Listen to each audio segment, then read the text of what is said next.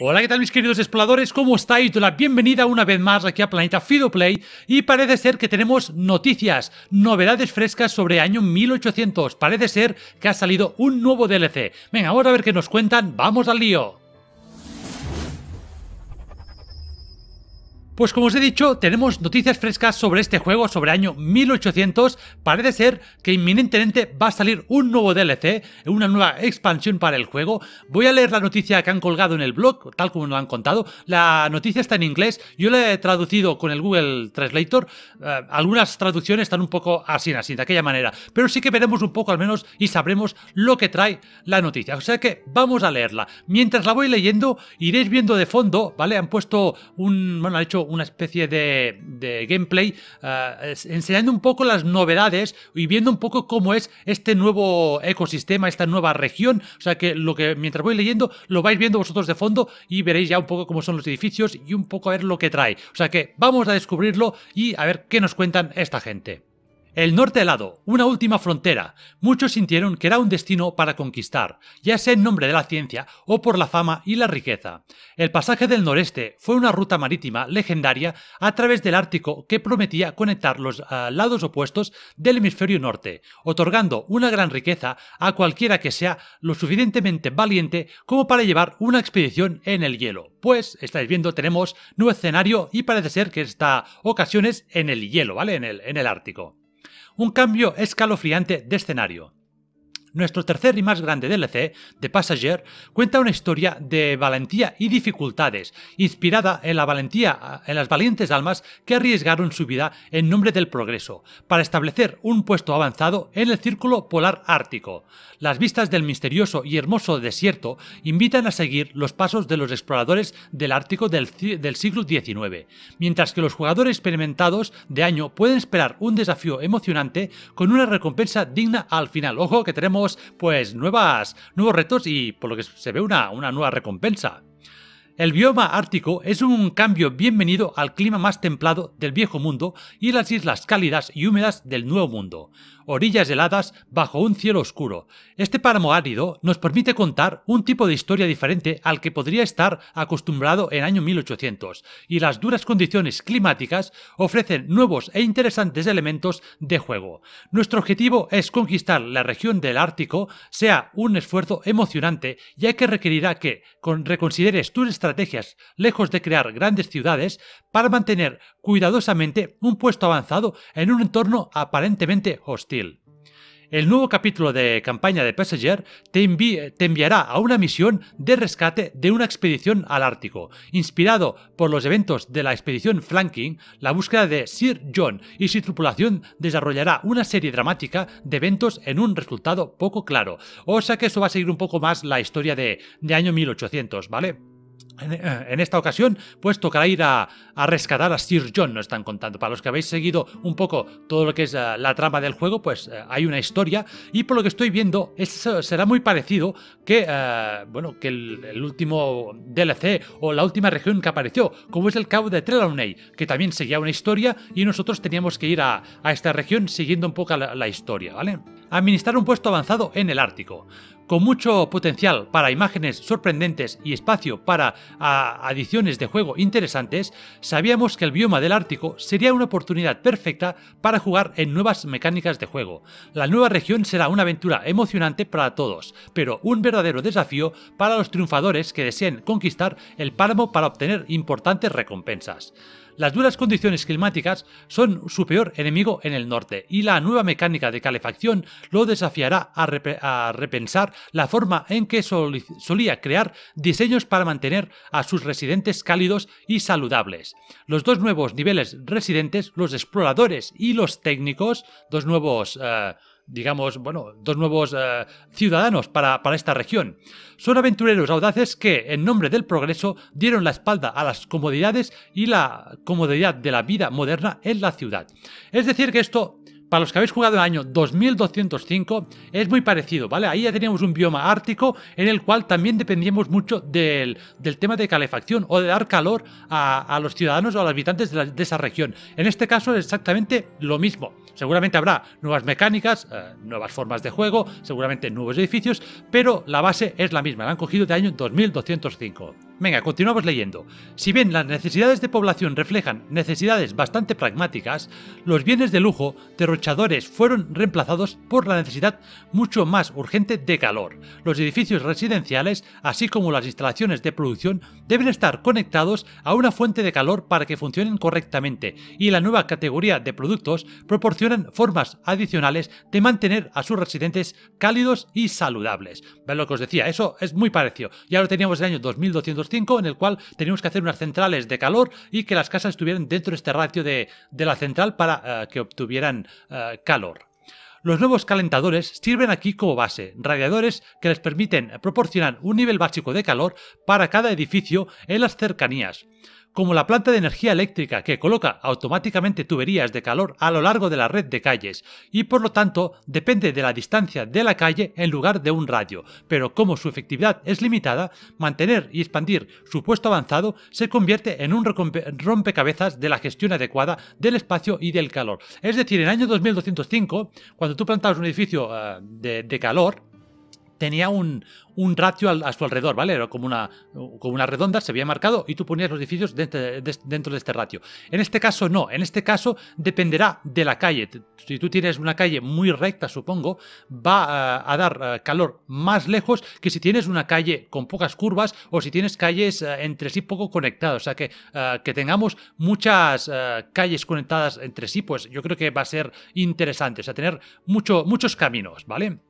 Venga, continuamos. El hemisferio norte es un páramo helado y el espacio de construcción, así como los recursos básicos, son escasos. O sea que cuidado que aquí grandes metrópolis no. Los calentadores funcionan quemando carbón, que es difícil de encontrar y requieren que construyas hornos de carbón en los bosques escasamente poblados en las islas ubicadas en el sur, o que importes carbón desde el viejo mundo hasta tu puesto avanzado en el Ártico. O sea que podemos hacer exportación de carbón. Los nuevos productos como sacos de dormir o parcas, ya tenemos dos nuevos productos que tenemos que, que, fabricar, proporcionarán una fuente adicional de comodidad y por lo tanto permitirán que el medidor de calor se eleve. Si no podrá eh, conectar los edificios en un calentador o si su soporte de combustible falta, estos productos pueden proporcionar un nivel de calor suficiente dependiendo de lo bien abastecidos que estén eh, sus residentes del Ártico. O sea que, eh, digamos, si lo que es la central de calor, los radiadores de calor, no llegan en este, en este lugar, esto he estado viendo un poco en este gameplay que estáis viendo de fondo, lo he estado viendo un poco, ¿vale? cuando le damos clic sobre una casa, aparece un medidor de calor, ¿vale? De los residentes, aparte de los productos que necesitan un medidor de calor. Depende. Luego, si tú les proporcionas pues parcas o sacos de dormir, pues este medidor de calor estará más alto, tendrán más calor o menos. Eh, eso si no tienen calefacción. Si tienen calefacción, entendemos que el medidor de calor estará al máximo porque estarán las necesidades, eh, digamos, satisfechas de, de calor, ¿vale? pero con la disminución de las temperaturas aumenta el riesgo de una enfermedad temida, la gripe ártica. Ojo, nuevas enfermedades. Similar a la enfermedad en el viejo mundo, a primera vista, la gripe ártica es una enfermedad mucho más grave para sus residentes debido a las duras condiciones de vida en el norte. Se propaga más rápido, es más resistente y tiene potencial no solo de paralizar su voluble infraestructura del norte, sino que también afectará a su población del Ártico. Así que mantén los dedos de los pies calientes para evitar una desgraciadamente sorpresa por la montaña. Ah, en principio entiendo por lo que estoy diciendo que eh, la gripe esta ártica afectará también a nuestras islas del sur, o sea, del viejo mundo y del, y del nuevo mundo. Entiendo esto. Y que si esas regiones están afectadas por esta, por esta, bueno, por esta enfermedad, será más complicado de, erradicar, de, tendremos más problemas eh, de, erradicar esta, esta, lo que es esta, esta enfermedad, ¿vale? eso es lo que entiendo. Nuevos edificios y cadenas de producción. Además de construir calentadores, su puesto avanzado le dará acceso a varios eh, edificios nuevos y cadenas de producción adaptadas a la vida en el norte. Ojo que tenemos pues nuevos productos y nuevas cadenas de producción. ¿eh? La estación de guardaparques no solo vigilará los incendios en la región, sino que también brindará asistencia médica a sus exploradores enfermos, mientras que la cantina sirve como un centro de reunión social, pero también reemplaza el mercado mediante la venta de alimentos y otros bienes. O sea que tenemos eh, el hospital aquí parece ser que no se va a construir, habrá lo que son los, eh, han dicho los guardaparques, ¿vale? El edificio suyo, por lo que entendemos, también eh, curará a, los enfermos y lo que es la cantina sustituye el mercado en el cual el mercado pues ya no irán a comprarlo ahí, sino que irán a la cantina a comprar los productos que necesiten nuestros, nuestros habitantes. La oficina de correos es una nueva necesidad cultural que permite a sus investigadores mantener eh, en contacto con sus amigos y familiares en casa. Es decir, que tendremos un nuevo edificio y entiendo que este nuevo edificio estará, supongo, en el viejo mundo, porque nos está diciendo que los investigadores, los investigadores, en principio, eh, me han dicho, espera, déjame mirar un momento una cosa, ¿vale? están mirando los dos residentes no, son los exploradores y los técnicos los nuevos residentes. Es decir, que los investigadores, los del viejo mundo, ya lo estaba diciendo bien, tendrán un nuevo edificio que será la oficina de correos o una nueva necesidad. Lo más probable es que sea una nueva necesidad en la cual, pues, ellos necesiten, pues eso, para enviar cartas a, sus, bueno, familiares o a los conocidos que vayan a la zona ártica. O sea que tendremos también incluso nuevos edificios, por lo estoy entendiendo, para eh, eh, los biomas que ahora actualmente ya están en el juego. Las necesidades de la población son tan pragmáticas como la lucha contra las bajas temperaturas. Para apoyar a sus investigadores con un suministro constante de cecina, las cabañas de caza envían guardabosques para cazar carburantes, combustibles de aceite de ballena, sus lámparas de bronce y pieles de oso y foca les permiten producir parcas y sacos de dormir. Es decir, que aquí ya tenemos nuevos productos como son eh, la cecina, entiendo que se van a, buscarlo cazando ballenas, tendremos eh, pieles de oso y pieles de foca. O sea, tenemos nuevas eh, cosas para ir a, buscar.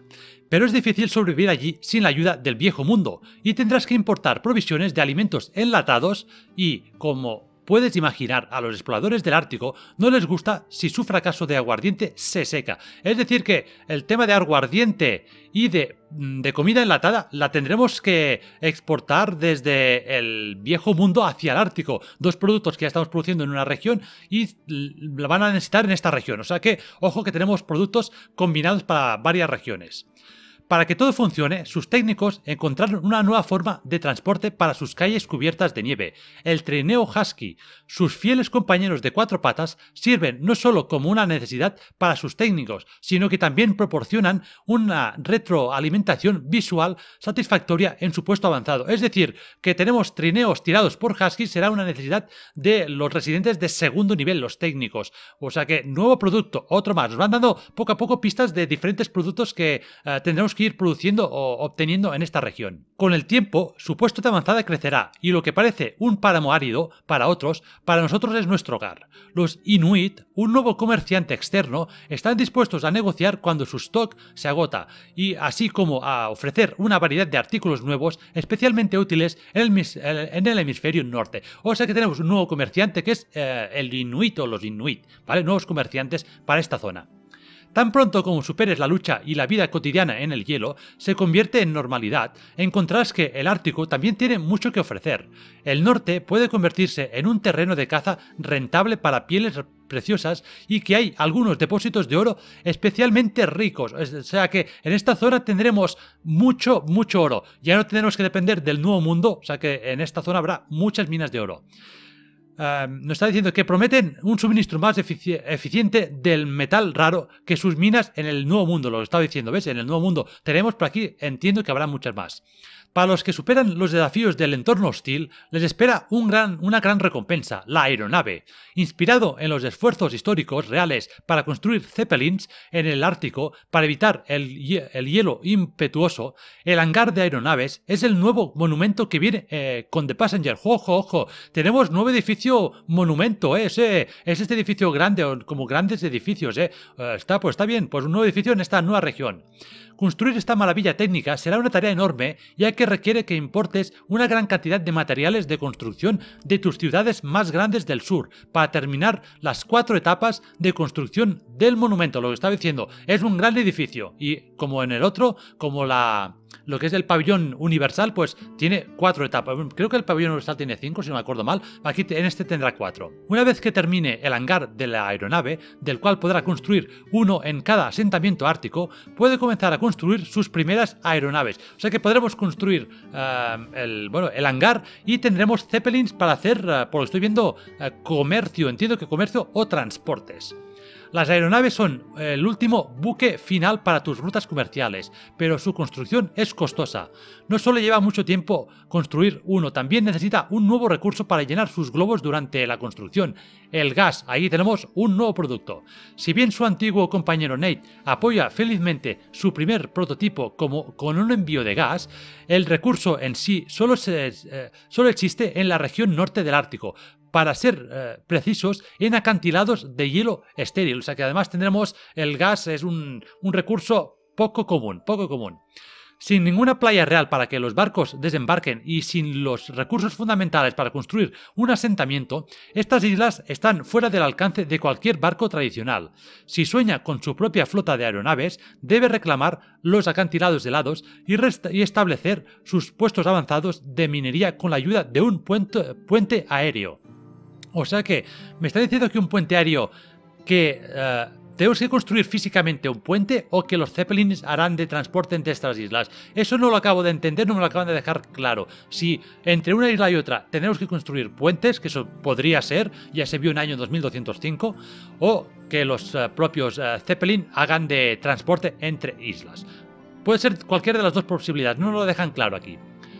Las aeronaves pueden evitar con seguridad a los piratas y pueden tomar rutas directas justo sobre las islas en lugar de maniobrar lentamente alrededor de ellas. También tienen un total de cuatro espacios para cargar y dos para artículos, ¿vale? Tenemos cuatro bodegas en, para cargar eh, mercancías.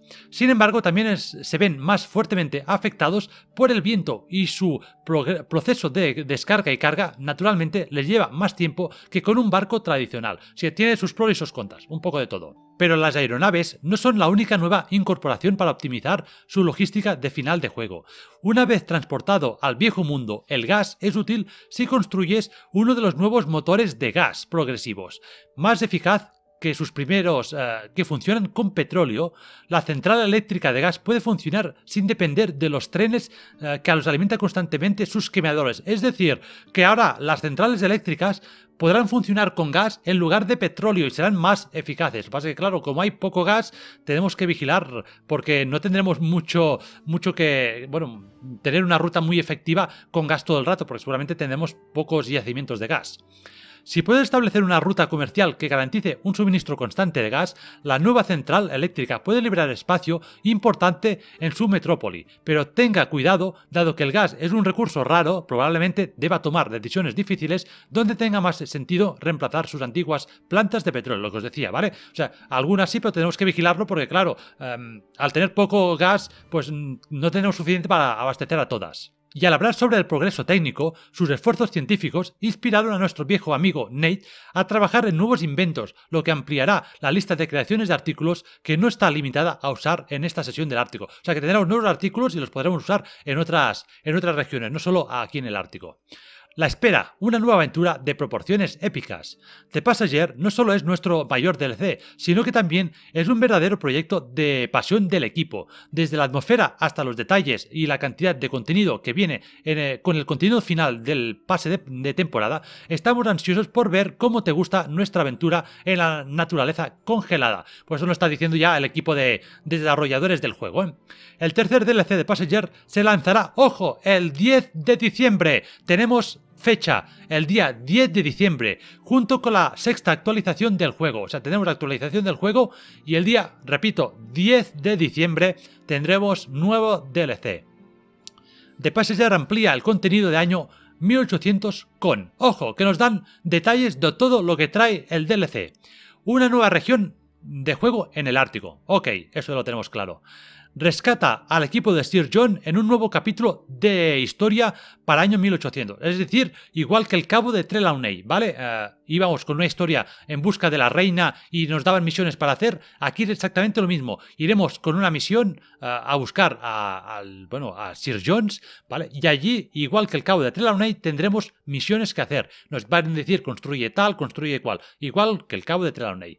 Ok, Dos nuevos eh, niveles residenciales, los exploradores y los técnicos. Eso ya no lo habían dicho. Ok, dos. Eso, igual que el nuevo mundo. Tendremos dos tipos de residentes. 32 nuevos edificios, ojo, 32 nuevos edificios, 7 nuevas cadenas de producción y 13 nuevos productos de producción. Ojo, eh, tenemos bastantes productos y 7 cadenas, o sea, 7 productos finales en el cual... Em, pues los 13 nuevos productos eh, requerirán pues dos o tres productos de ellos para hacer estos 7 que nos están diciendo, ¿vale? 7 nuevas cadenas y 13 nuevos productos. Más de, 60 nuevas misiones. Pues venga, más misiones. Lucha contra el frío con los nuevos sistemas de calefacción, eso ya lo he dicho, muy parecido a año 2205 y construye tu flota comercial de aeronaves en el nuevo monumento hangar de aeronaves, un nuevo gran edificio, igual que el pabellón eh, de exposiciones, pues ahora en este caso el hangar de aeronaves. Hasta la próxima, cuando compartimos la lista completa de cambios y contenido gratuito que viene con la sexta actualización del juego. O sea que seguramente habrá algún cambio más, retocarán seguramente pues eh, errores, eso seguro, y puede ser que alguna cosa, alguna sorpresa haya, eh, que no nos hayan contado por aquí. Pues bien, ya estáis viendo de qué consta y cómo será el nuevo DLC de Passenger, ¿ok? Estáis viendo, os he leído todo lo que nos dicen ellos en el blog, todas las novedades, eso es lo que nos han contado oficialmente los desarrolladores de año 1800, y mientras tanto os he estado contando esto, lo que habéis visto es un poco un gameplay más o menos eh, un poco resumido, viendo ya algunos edificios, habréis visto eh, bastantes edificios, el nuevo hangar lo habréis visto, habréis visto residenciales, algunos eh, edificios de producción, poco, pero bueno, yo creo que ya es suficiente para tener bastante claro cómo será una nueva región, como estáis viendo, estilo año 1800 100%, o sea que creo que no nos va a defraudar, ¿eh? puede ser muy interesante. Y una última cosa y último apunte. En este blog siempre hay, abajo hay preguntas y respuestas, ¿vale? La gente pregunta y lo que más pregunta la gente, ojo, lo que más preguntan es, ¿habrá, aparte de ella, una nueva región? No lo ha preguntado ni una ni dos personas, lo han preguntado varias personas. Y, sorpresa, los desarrolladores no han contestado. Eso quiere decir que posiblemente en un futuro tengamos nueva región. No muy cercano, no, no muy pronto, pero lo más probable, porque si no, cogerían y dirían que no, ya directamente dirían no, este sería el último DLC, o no, no van a poner más regiones, y no dicen nada. Es más, en alguna de estas preguntas le hacían doble pregunta y solo contestaban la segunda, y esta de si había nuevas regiones, no decían nada. Es decir, que probablemente, probablemente después de, de Passenger, tengamos más regiones en el juego. Es lo más probable. Espero que os haya gustado mucho, mucho este vídeo. No os olvidéis suscribiros, por favor, suscribiros al canal porque siempre os voy contando todas las novedades ah, y ya sabéis que también tenemos una serie de año 1800 que estoy siguiendo en el canal para que la podáis ver. O sea, suscribíos, dale like sobre todo a este vídeo, que haya mucha difusión, eh, compartirlo con todo el mundo. Eh, ya sabéis, eh, si os gustan estos vídeos, los compartís con vuestros amigos. Si no os gustan, los compartís con los enemigos. Suscribiros al canal, sobre todo suscribíos. Siempre estáis al corriente de todos los vídeos y todas las novedades del juego. Y nos vemos en próximos vídeos o en próximas noticias de año 1800.